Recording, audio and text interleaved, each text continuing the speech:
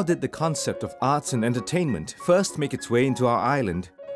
We could attribute it to the British, who introduced drama and theatre to their new colony. But it could also be due to the early immigrants' assimilation of their cultures into the social fabric of Singapore. If our walls could talk, what stories would our buildings tell us?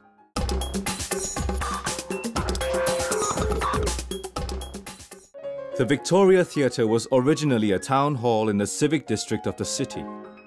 In memory of the late Queen Victoria, a memorial hall was constructed next to the building in 1901. With the opening of the Victoria Memorial Hall on 18 October 1905, the original town hall building was converted into a theatre.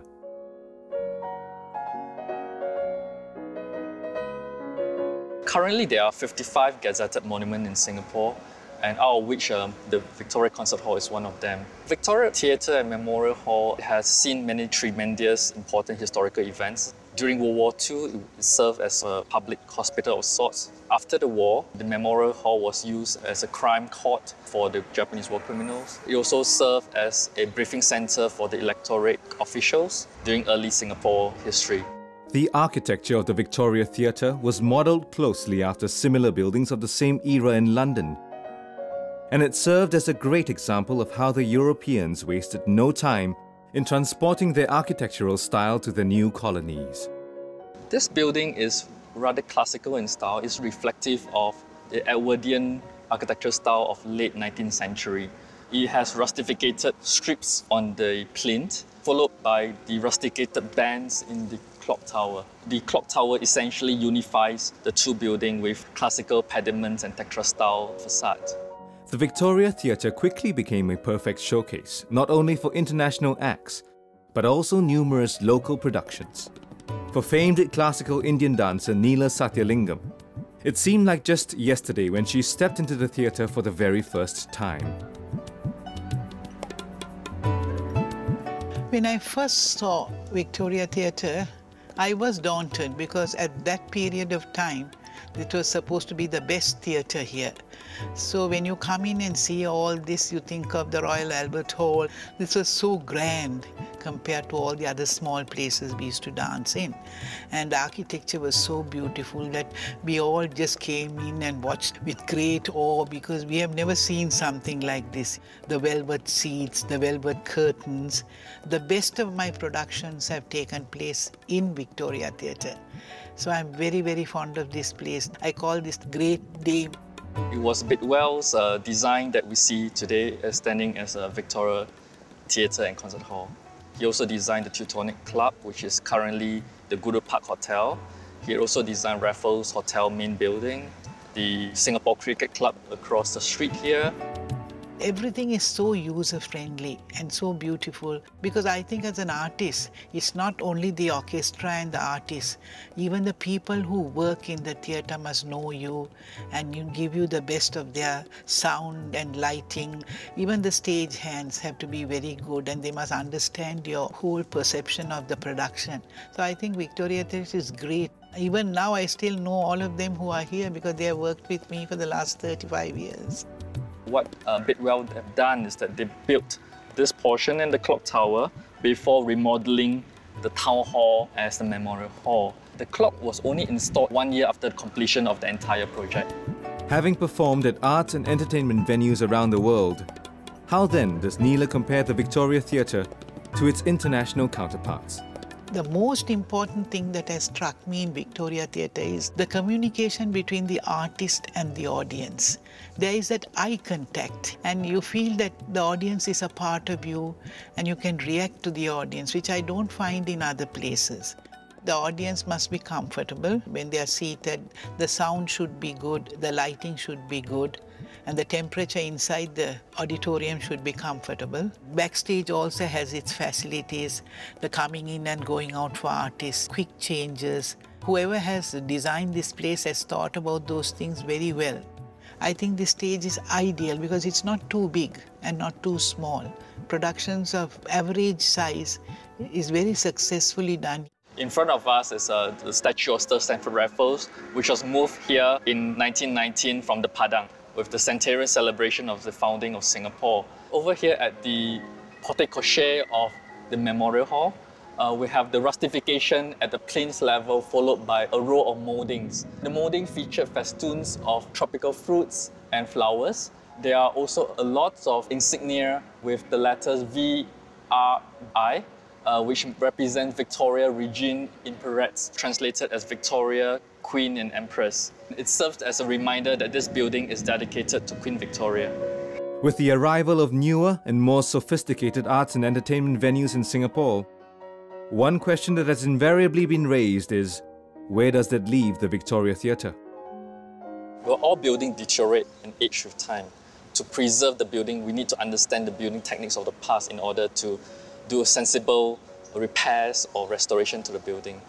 Personally, I believe that the building certainly have a place in Singapore history and will continue for 100 years to come to serve the art scene. If the structure of the building is strong enough, I think it can go on forever. Because in other countries I have seen uh, performing areas there for quite, quite some time. A hundred years after it opened its doors to welcome its first patron, the Victoria Theatre remains especially popular among small performing groups who are appreciative of the intimate yet elegant space the theatre offers. But in the 1960s, as the art scene grew rapidly and audience size increased significantly, there was a need for a venue of a larger scale, a venue which would also mark the new era for Singapore's self-government.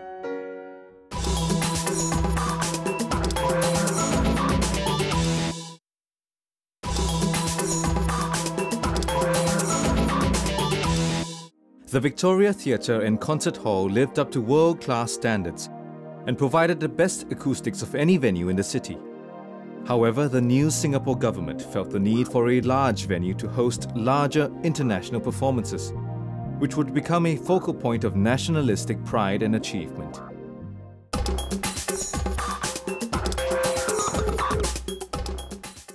The winner of a national competition launched by the government to design and build the National Theatre was the local architect Alfred Wong.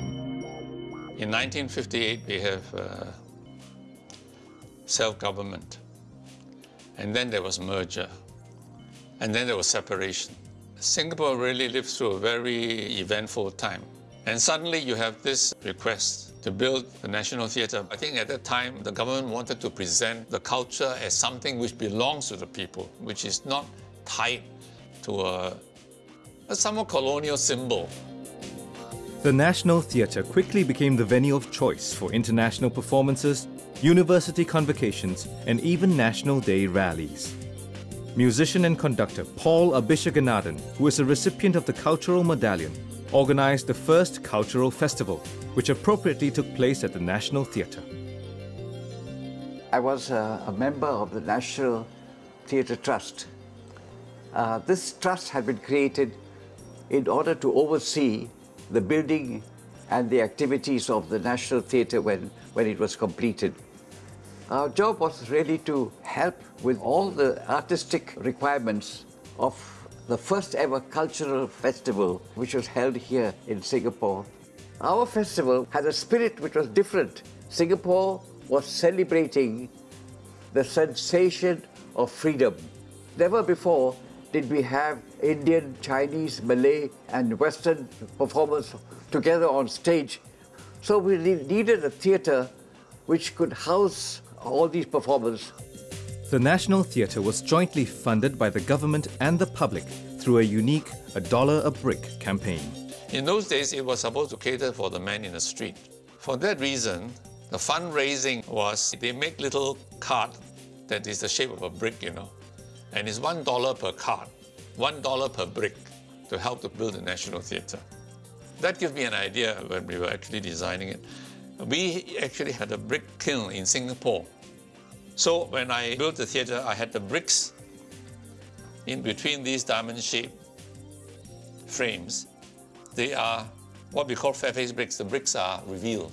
It was wonderful how so many people donated towards the theatre because the theatre was a sort of symbol of national unity. This was the first time that a theatre had been purpose-built to be able to hold large-scale performances of music and dance. Built at a cost of about $4 million and featuring a seating capacity of 3,420, the five-pointed facade of the National Theatre, which represented the five stars of the Singapore flag, immediately captured the fancy of the public. If I use the usual construction, it will look like either a factory or a block of flats. It should be a building which is different from other buildings around. Designing a building is more than just a functional requirement. You have to give an architectural statement of what it is. Since this is a people's theatre, a national theatre, it has to be something different. The facade was something that was quite unique to everybody at that time. It was completely accessible. There were no lifts to take and no steps to climb, and you just walked in. It was a struggle all the way to find financing, and the Theatre Trust has to work extremely hard. My job was to identify, right, the essential things which this theatre would need in order to function. The theatre has a whole lot of things inside, including a 75 feet rotating stage. The stage had to be large enough to, to allow a revolving stage so that we could prepare uh, something behind the curtain which could be revolved around immediately to save time. This was the first time that we had a theatre that had all these amenities. The location is at the corner of River Valley Road and Tank Road. The first task that I had was to try and orientate the theatre so that the back of the theatre would face the traffic, would face the corner. The back part, therefore, is shielded from the worst of the traffic passing. The cover was considered to be a great uh, engineering feat. It was a huge cantilever roof. The roof will cover the seating, provided the rain comes straight down. Sideways rain, there was no way of stopping it. There just wasn't enough budget to do a big enough roof. And every time there's sideways rain, there's a vast amount of complaint and say, I got wet because, you know, I was on the side roof. The magic of the National Theatre did not last long, however. The proposal of an underground expressway tunnel close to the theatre, coupled with declining use of the venue, brought an end to the national icon. We had a meeting with uh, the LTA officials, and they said two bays of this theatre would have to come down. Of course, it can be rebuilt after they dug the tunnel. Costs have risen so much that the replacement cost of the two bays exceeded the cost of building the National Theatre itself. After staging its last performance on 15 January 1984, the National Theatre closed for demolition. There was a lot of opposition to the demolition. They say that there are defects in the theatre. I would not agree. There was so much enthusiasm in people building the theatre of doing their best for the theatre that I believe the structure is sound. And it was confirmed by the fact that we got consultants from UK to come and check through the structure. They say the structure is okay, it just requires regular maintenance. We understood the reasons why uh, there was no longer the need for this kind of a uh, meeting place called the National Theatre.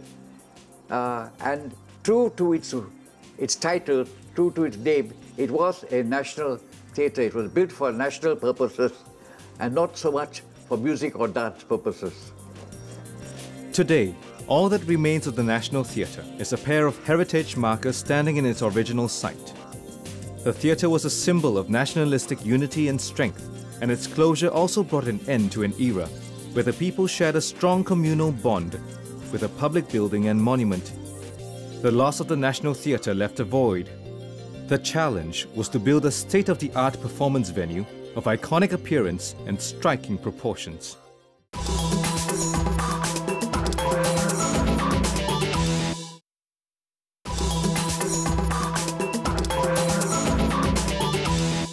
More than a decade after the National Theatre was demolished, a new arts performance venue was to make its debut.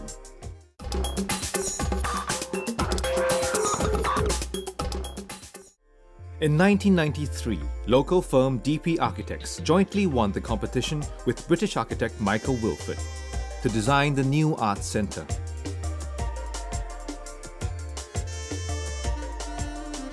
One thing that differentiated this uh, entry from the others uh, was that all the other entries primarily addressed the waterfront, effectively ignored the city center. And I think that may have been one of the compelling reasons why this design won. After Wilford left the project in 1995, DP Architects soldiered on with the challenge of building an arts and entertainment center that would defy all previous conceptions of what an arts performance venue should embody. A good building for the arts today is not an easy building to do. It has to address a lot of divergent needs. Society is polarized in its desires and aspirations a lot more than it used to be. The local context is a nation city that's aspiring to be a world city. And we're also building in a climate that's very hot with almost on the equator. So we designed for that context. The design of the esplanade used a large amount of glass in order to allow as much natural light as possible into the building. The clients wanted this performing arts center to be a people's performing arts center, something that wasn't a mystery to the general public. So we wanted a lot of transparency into the building. And the way to do that is to use a lot of glass. But of course that goes completely against the fact that we have a lot of sun bearing down on us. So we knew that we would have to have some kind of sun shading as part of the design. We were able to exploit the three-dimensional modeling possibilities of our CAD software and we found that this system of sun shading offered a lot of potential which allowed us to lay out the sun shading in a much more natural, flowing and organic manner which had a lot of echoes in traditional arts and crafts in Southeast Asia and also gave us that iconic look that everybody was looking for. Encompassing a theatre, concert hall, recital studio, black box theatre, as well as several outdoor performance spaces in a single location. The building also includes a shopping mall and a number of restaurants. Well, if you look at performing arts centers around the world, when there's no performance going on, they're dead. So one of the things that came into the brief very early was to design some kind of outlets that would be used throughout the day. Even when there's no performance going on, the building doesn't feel dead. One of the artists to get a feel of performing at the Esplanade is local electro rock chanteuse May Wong, better known as the Analog Girl.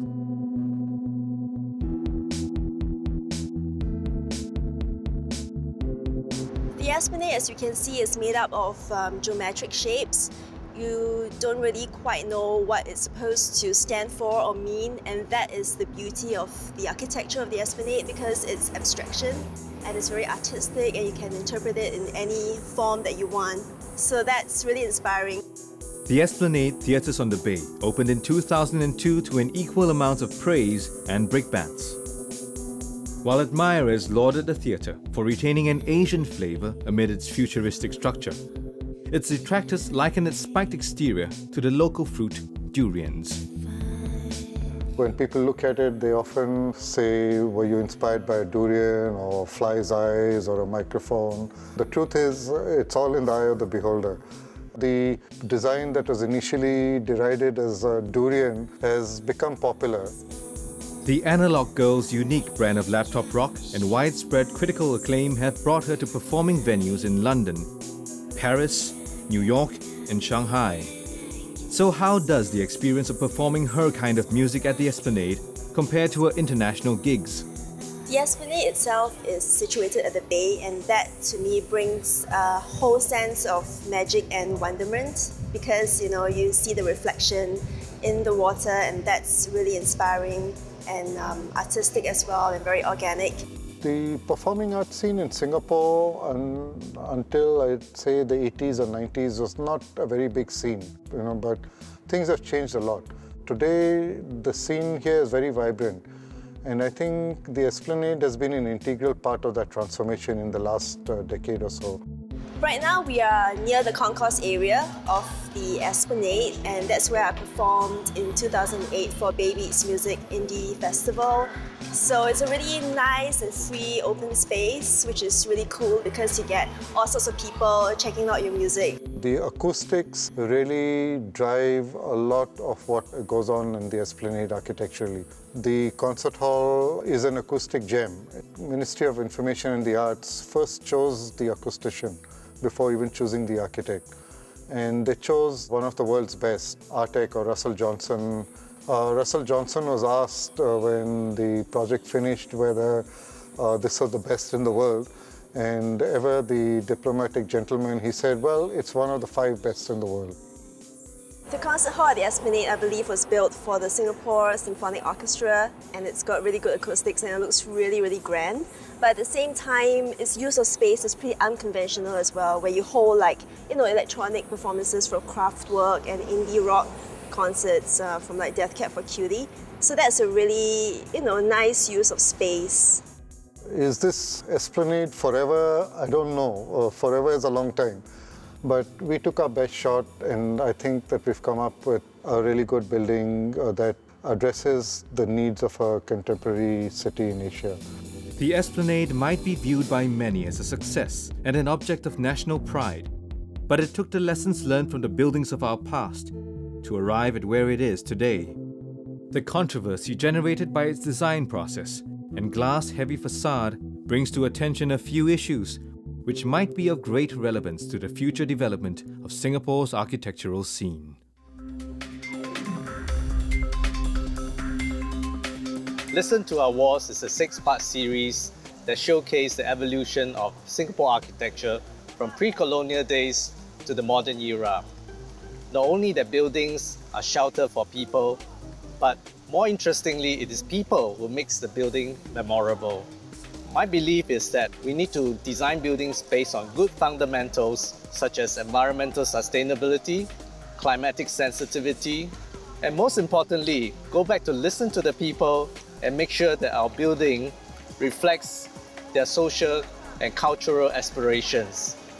In this way, then we can make buildings lasting. What if buildings continue to face the challenge of being taken down such as en bloc sale should architects continue to design buildings that are lasting and memorable? It is my belief that architects must continue to design great buildings to inspire the people who live in there. In that way, buildings can then be meaningful to people and the society.